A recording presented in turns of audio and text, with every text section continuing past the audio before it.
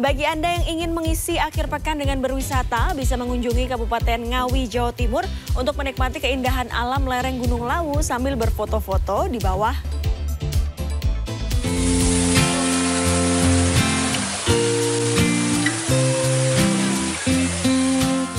Salah satu tempat wisata alam, lereng Gunung Lawu di Kabupaten Ngawi, Jawa Timur, menawarkan suasana sejuk dan pemandangan hutan pinus yang masih asri, serta air terjun yang mempesona.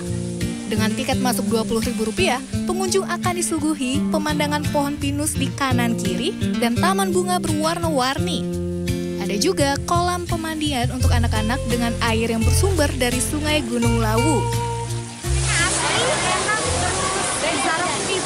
buat liburan keluarga sangat Adapun wisatawan yang ingin menikmati air terjun alami harus berjalan kaki sejauh sekitar 800 meter dengan melewati jembatan kayu dan aliran sungai yang penuh bebatuan.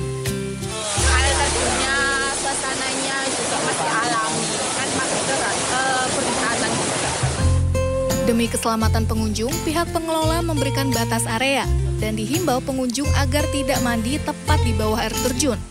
Pengunjung hanya diperbolehkan mandi atau berfoto beberapa meter dari air terjun.